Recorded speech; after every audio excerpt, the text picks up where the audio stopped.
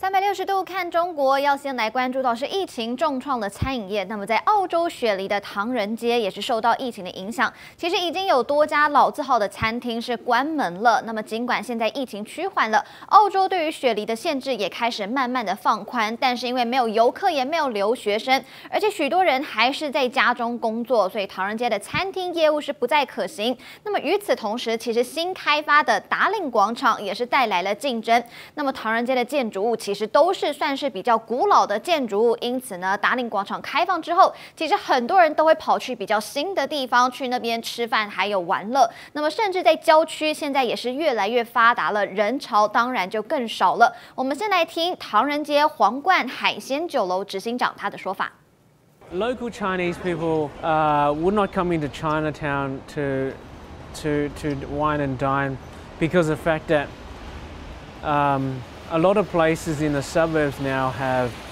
parking, which makes it easier for them to go there instead of coming to Chinatown.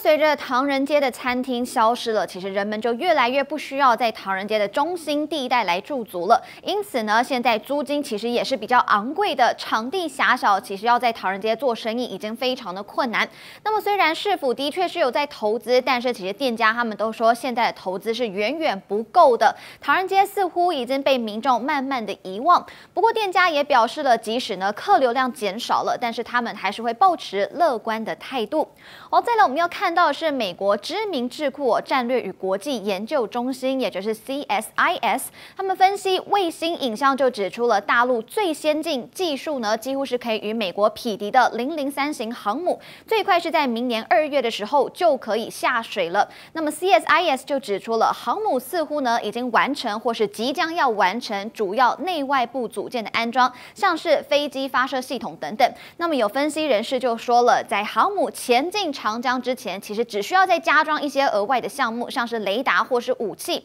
那么 CSIS 就指出了，今年九月卫星照片当中就已经显示出来了，零零三型的甲板上面还是可以看到有两个大型的开口。所以一旦准备就绪的话，零零三型将会成为大陆第三艘航母，也会是大陆第二艘国产的航母。但是有专家就表示了，这艘航母呢不同于它的姐妹舰哦，辽宁号还有山东号，零零三型将会采用的是更先进的飞。机发射技术沿用的是美国航母使用的弹射系统，那么这个能够使零零三型是以更快的速度发射更多种类，而且搭载更多弹药的飞机。哦，再来，我们镜头看到大陆内部啊，现在第四届的进口博览会的汽车展区，其实就齐聚了有全球十大汽车集团、世界五百强，还有龙头企业数量都是来到了三十二家。那么在进博会上面呢，绿色低碳、智慧出行也成为了关键词。来看到这个场面呢，就是三万平方公尺的汽车展区内，那么这一款呢是纯电悍马超级皮卡，也成为了焦点。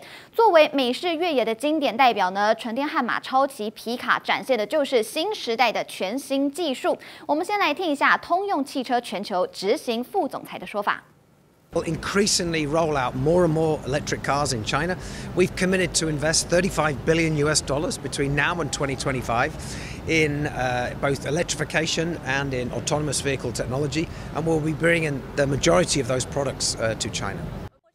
哦，另外呢，还有这个哦，就是共享出行的概念车，外观看起来朴实无华，但是其实里面哦科技感十足。这个车里面呢是有四个座位，而且中间是有个电子显示屏立柱。那么在立柱的四面是有二十八英寸的电子显示屏，乘客他们是可以通过手势啊，或者是语音以及呢电子显示屏来进行一些无接触的互动，而且同时里面的车窗都是采用玻璃的设计，所以大家是可以通过这个。玻璃来看电影的，或者呢可以转化为看外面的风景模式哦。不过最近大陆的风景恐怕呢就是这样白矮的一片哦，因为最近就是受到了寒流的侵袭，各地的气温现在是雪崩式的骤降，而且东北以及内蒙古部分地区还出现了大暴雪以及呢特大暴雪哦，所以严重影响到了民众的生活。那么内蒙古还有东北地区呢新增的积雪厚度有的是达到了十公分或是二十公分，甚至有局。局部地区还到了四十甚至六十五公分。